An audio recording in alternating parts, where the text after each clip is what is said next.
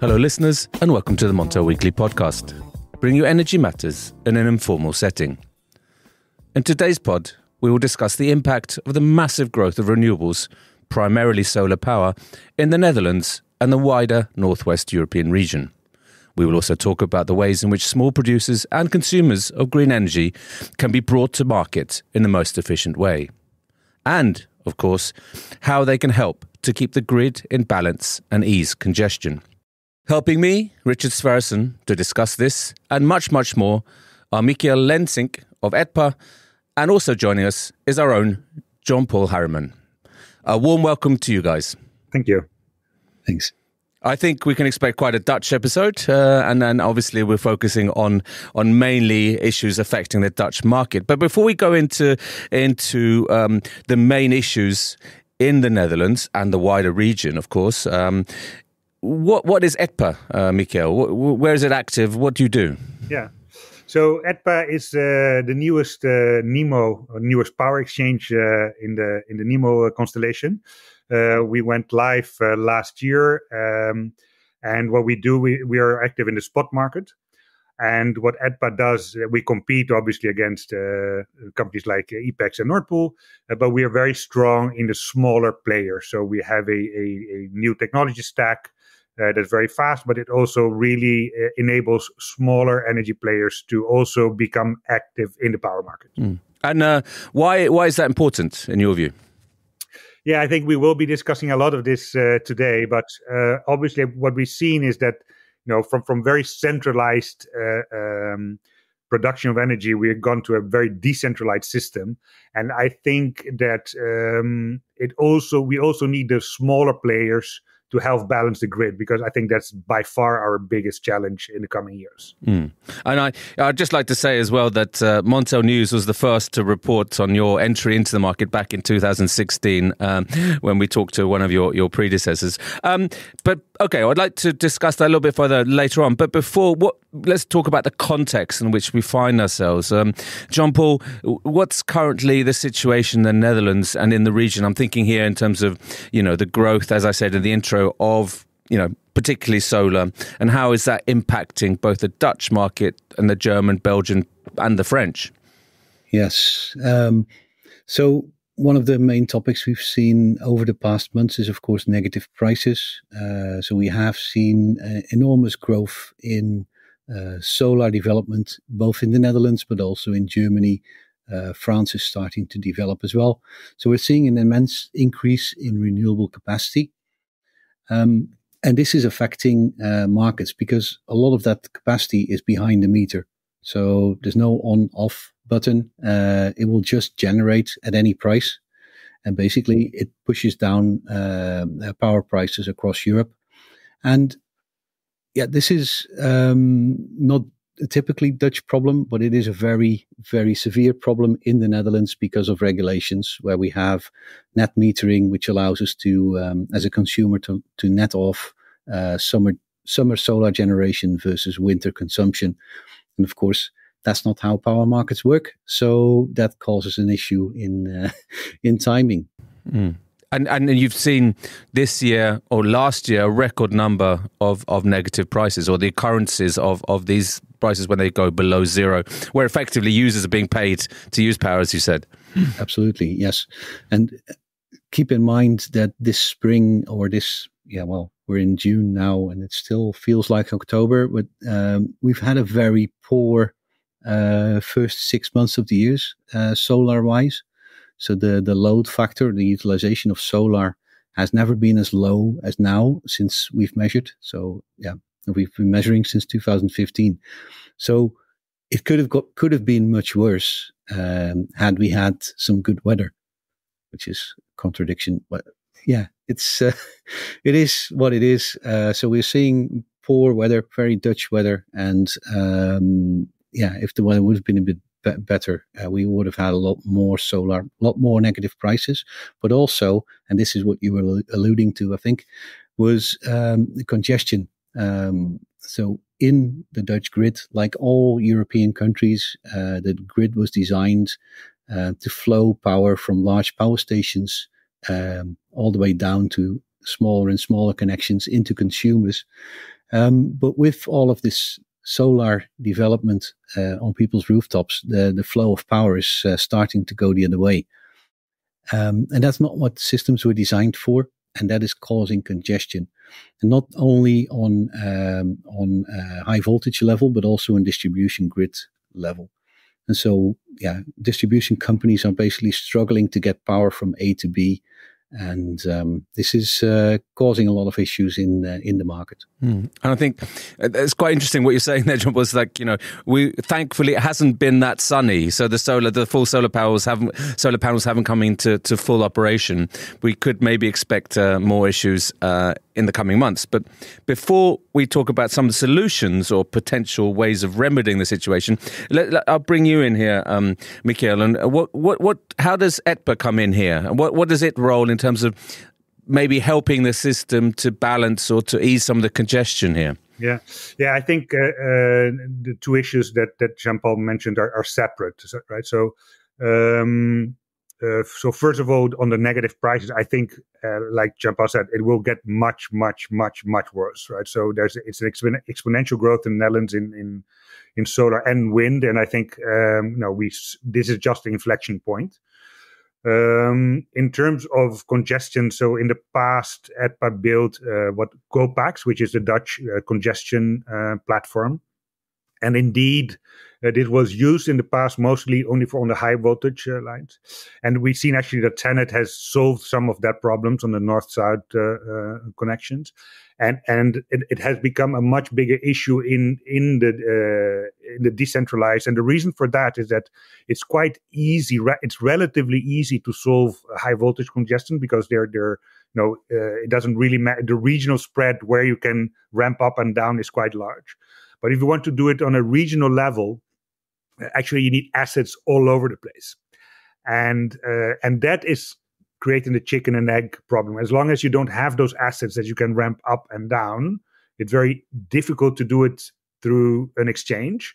Um, and as long as there's no money to be made, people will not join, right? So, so we are actually right now at a, in a position that um, for the first time, DSOs actually realize that this will not be in the next 10 years by having more copper in the ground. I mean, for a long, long time, that was their position. It still needs to happen, don't get me wrong. But um, just to give you a flavor, it sometimes takes seven to eight years to get a connection if you want to electrify your industry. It is. And so this is having a huge impact in our on our economy. So it, what we need right now and what we provide as ETPA, so GOPACS is something that we built in the past. It's now owned by a separate uh, group, but we gave access to GOPACS. And what we need is more people becoming active uh, in GOPACS so that we can leverage that uh, flexibility because that's the only the only solution on the short term. Mm. But what I mean, John Paul, surely the incentives, as you said, the incentives are not there for people to to ease the production or to turn it off. So they they're just sort of pumping it into the system, and surely maybe that needs to be looked at. Yeah, so the yes, incentive right. is not there because the platform uh, didn't have enough players, and because they didn't have enough players, the DSO would not actually use it a lot, uh, and they complain that the, the the prices are too high. But obviously, there, I mean, there's always a, a period when you need adjustment, right? And, and uh, to be fair, uh, last month was the the highest uh, use of of uh, uh, ever uh, by the DSOs, but we need to increase that drastically. And to do that, people m- need to be able to make money to offer their flexibility, and we need more people on board. Yeah, no, that's that's absolutely correct. So, um, and what is important for uh, for players once they have the ability to um, to make money is also that they that they have an idea on when are when am when am I going to be called on.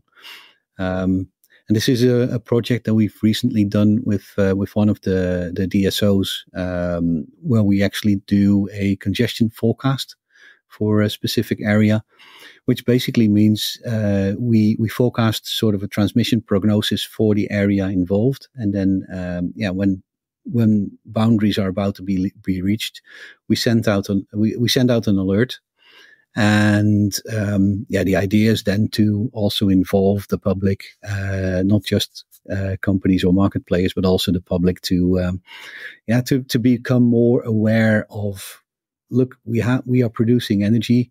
We should use it now, not later.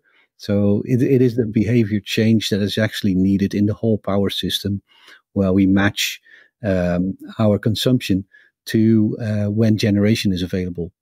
Kind of the reverse uh, uh, we had in the, in the past where we had a consumption forecast and generation would be scheduled to meet that consumption forecast. Unfortunately, the sun is not schedulable. Otherwise, we would have had a lot better weather in the Netherlands in the in the spring.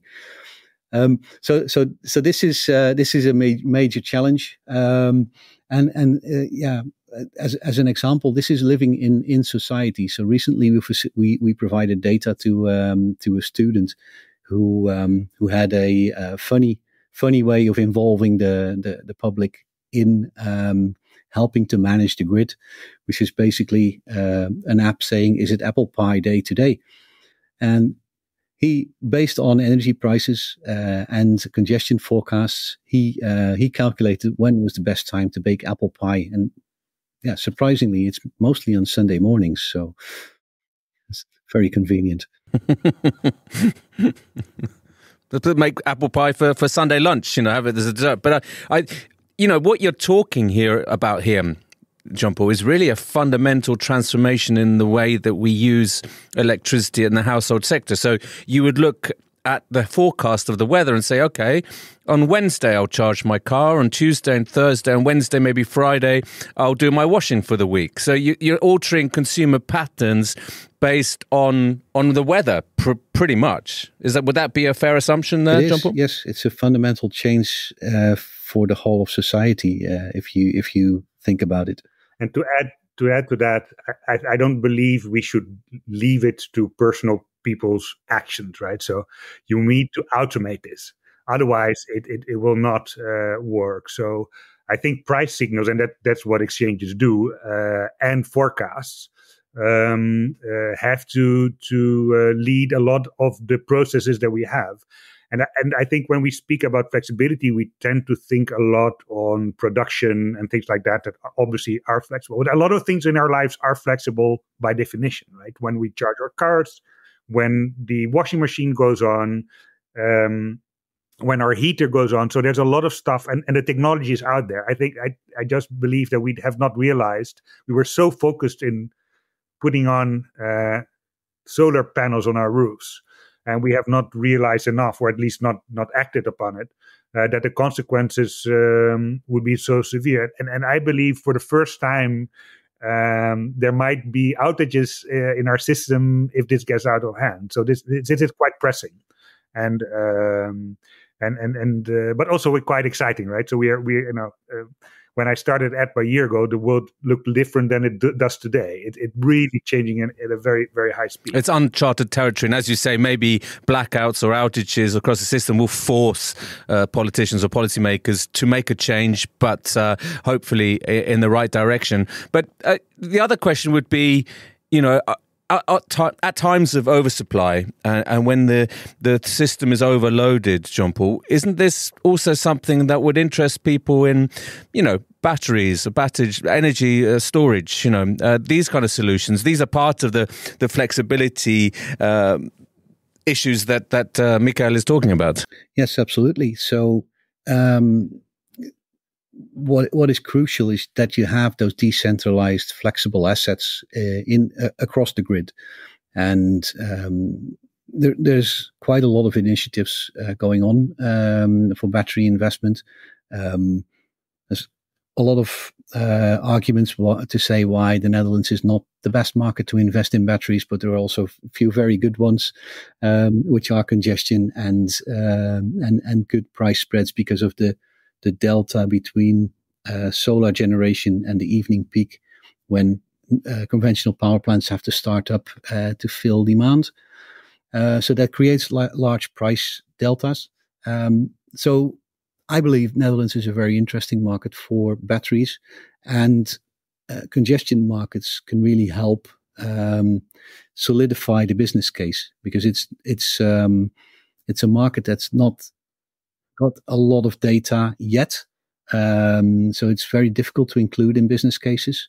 So in, in, in principle, we either make an assessment or we say it's it's an upside to a business case, but the size of that upside is considerable. And I think, um, yeah, parties like ETPA facilitating small market players, but also facilitating GOPACS, which is the congestion uh, solution that's put in place. This combination is a very strong um, driver for for those for those parties to actually also be active in that. I totally agree on that, uh, Jean-Paul. And what we see from battery players is that, let's say, one or two years ago, they, the whole business case was only about frequency regulation, and and, and now uh, actually intraday trading is is a big chunk of that already. Uh, and then if you add GOPACS, so I, I, believe there's a, a fundamental change in how batteries should be operated, where you have multiple business cases, and where you choose where to play depending on the situation, and and that really adds to um, the business case of a battery.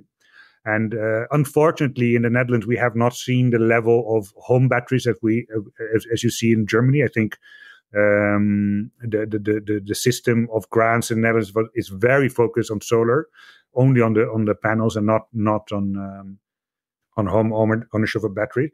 But that might change in the future. And uh, as you said, um, there are more batteries uh, coming. But the irony is that because of congestion, um, there's also little place to install them uh, because the lines are not uh, uh, not, not big enough. So uh, there's there there's some uh, challenges to, to to to overcome there. Exactly. No, that that is also part of the study we did for for this grid operator in Netherlands, where we actually said, okay, what is the ideal profile for a battery in this grid?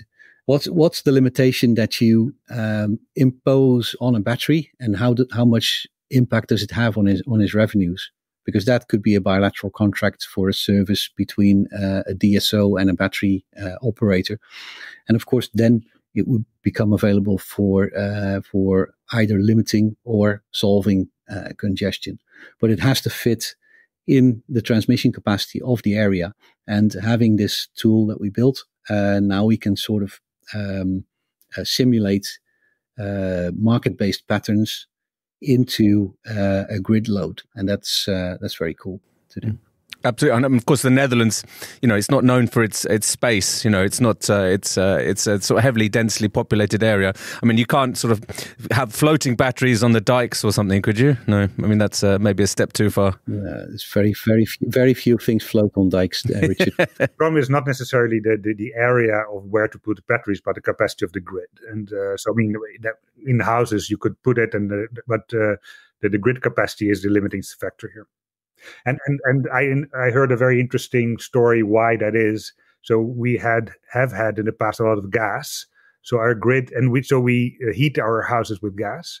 So our grid was not as extensive as in Germany and France, where they also use uh, energy for uh, um, for heating of houses. So our whole grid system is just not as strong. Mm, very interesting. I mean, of course, the clue going forward would be seasonal storage. That would be the answer here. But uh, we're quite a long way off that, aren't we, uh, John Paul? Mm.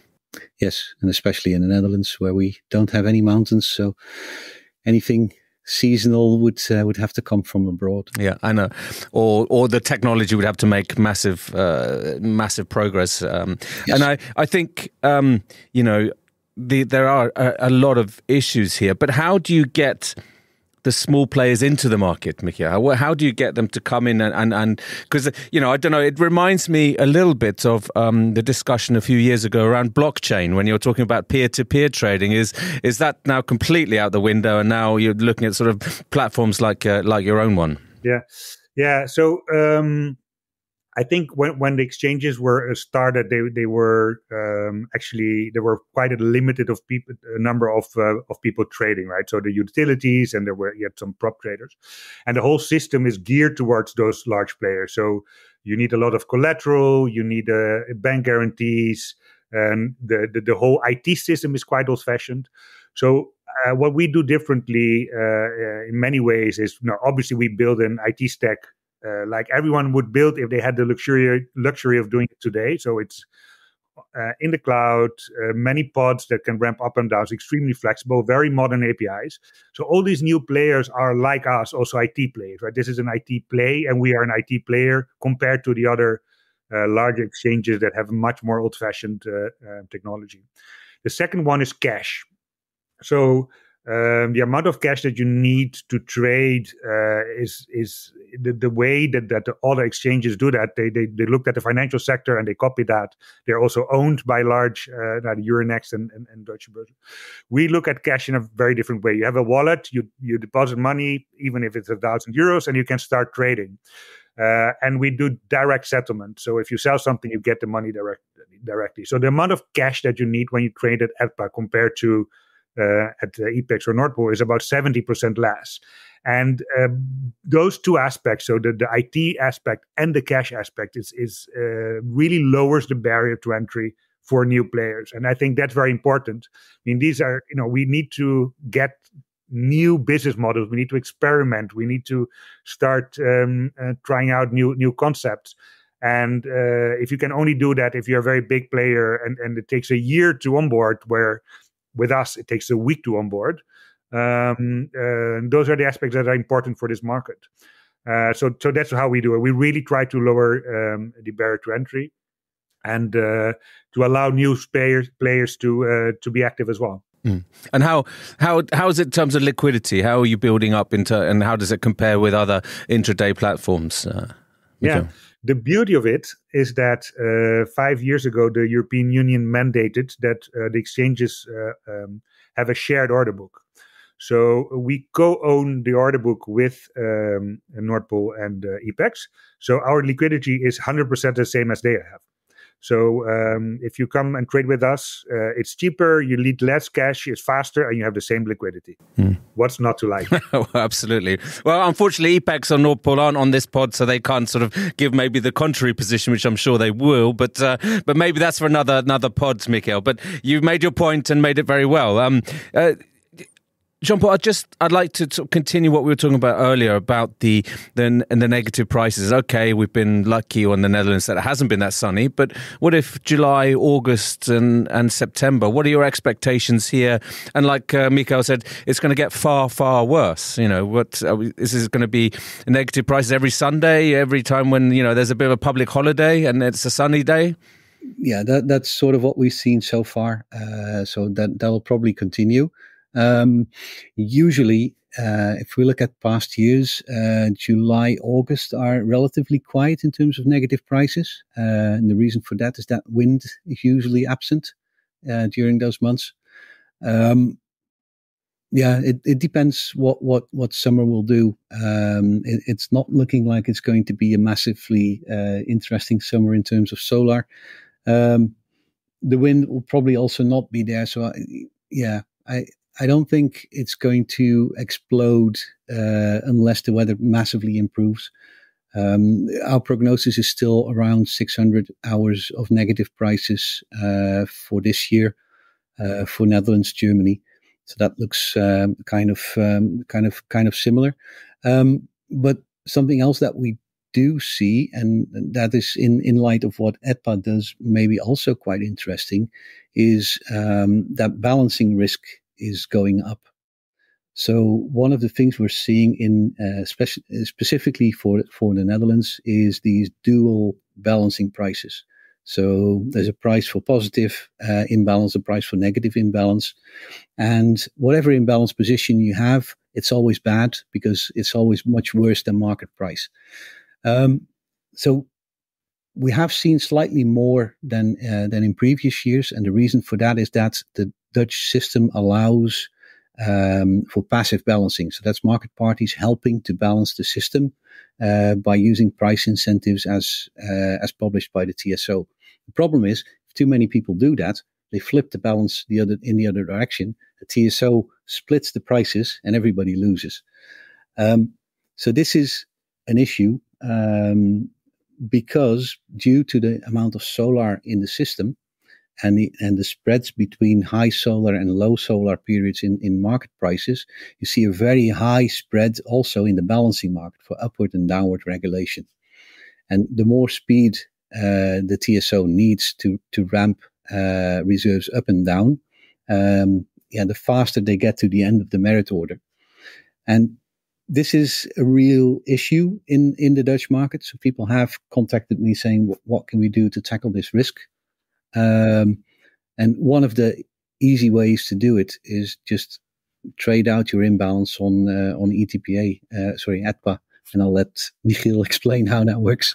So yeah, so Michiel, how how would that how would that work? How what's your view here? And you can explain how it would work in practice if you have that uh, balancing risk where you either have too much or too little power, and you have to you know you have to um, and deal with the TSO there or, or, or, pay a very hefty uh, fine and, uh, and and balancing uh, fees. You know, I agree with Jean Paul that there's a fundamental issue to be solved. Right, so it, it used to work very well in the Netherlands, passive in, uh, imbalance, but um, uh, we're overshooting a bit. Uh, so what we have, we have an ex post market. So um, after gate closure, 10, 15 minutes after gate closure, people can trade their imbalance if it is a regula- regulatory state two. So a regulatory state two is when you have a up and downwards uh, price for uh, for imbalance, and actually you can meet in the middle.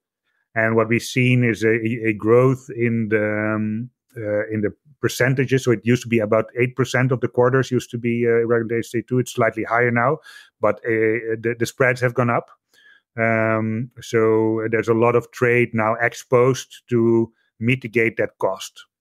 Right. So you can actually, if you have the imbalance in one side and and uh, someone else the other side, you can actually uh, trade that and, it, and it, it's a very uh, liquid uh, liquid market. So there's a lot of trading going on. It has increased considerably this year, uh, and last year the average uh, savings in top my 185 per megawatt hour euro per megawatt hour.